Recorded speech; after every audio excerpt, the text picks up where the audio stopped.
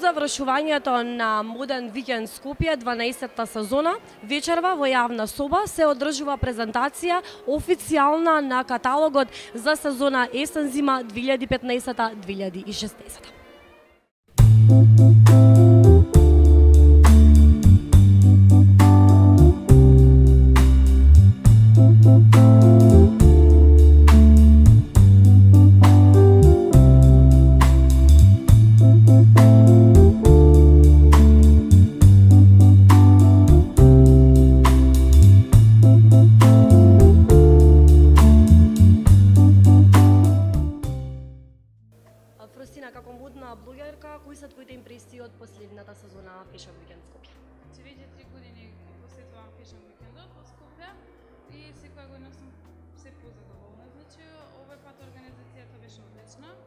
Значи, ми се свиѓаше местото кај што се одржуваше музејот, значи во Македонија, што што исто така ми се допадна затоа што се поврзува со културното наследство.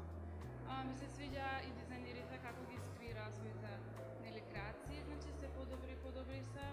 А, исто така ми се допаѓа што тоа е едно едно место каде што може да се дружиме, да се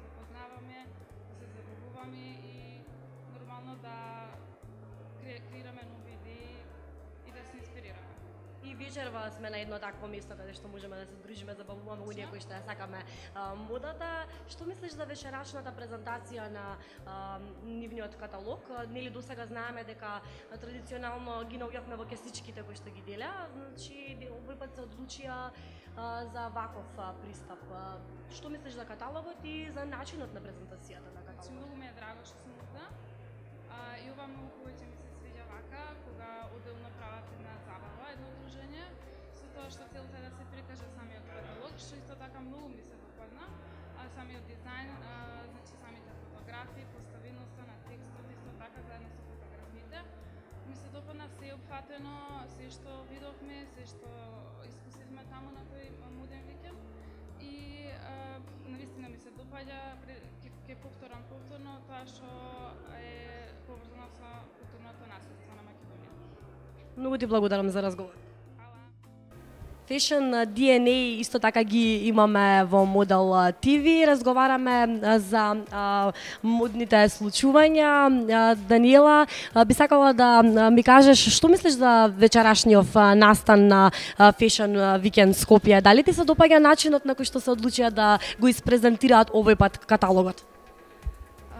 Да, ми се допадна. Сметам дека вакви настани треба да има и почесто, затоа што на вакви настани се сумира всушност се што се случуваше на модниот викенд. Можеме да ги споделиме нашите искуства, да дадеме пофалби и критики на во однос на еве на нас блогерите, затоа што ние сме нели модни блогери. Подобро е да го презентираат вака каталогот отколку како порано што го дава во кесичките според тебе. Да, јас сметам дека вака е подобро, затоа што на овој начин а, има подобра комуникација помеѓу луѓето и може а, одма да се продис, продискутира околу самиот каталог. Забележани сте на сите фотографии кај сите а, реви, односно кај сите дизајнери на а, модната модниот викенд. А, какви се впечатоците? Што е добро, а што е лошо Александра оваа сезона во модниот викенд? Најпрво мора да ги пофалиме. Ни се допадна локацијата и изгледот како се представија модните дизајнери. Секако секогаш има и критика. А, Мислам дека блогерите а, треба да имаат поголема поголемо значење и дека всушност тие се оние кои која презентираат модата и модниот викенд и доближуваат до обичните смртници што се случува на вистина со модата во Македонија и е, можам, можам да ги пофалам Ирина Тошева, Јована Филиповиќ и Роберт Ивановски. Мене лично е, ми беа најдобри. Би сакала и да ве прашам за оно што сега сте актуелни, на кружат фотографии преку My Time за вас, за конкурсот кој што а, го има. Може ли да ни споделите нешто околу тоа? А, така, значи учествуваме во блогерски предизвик организиран од Скопје Casual и My Time. Се избира заштитно лице на Фосил. Ние учествуваме а, и се надевам дека ние ќе бидеме токму тие што ќе бидат заштитно лице на а, Фосил и се надевам дека ќе гласаат за нас. Се надевам и, ва- и јас ви посакувам да имате успех и се гледаме повторно. Ви благодарам.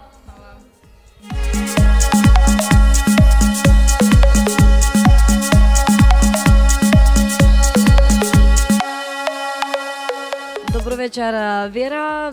Како ти се допаѓа вечерашното дружење и презентацијата на каталогот за Fashion Weekend Скопје? Добро вечер, мило ми е што присуствам да во вашата емисија.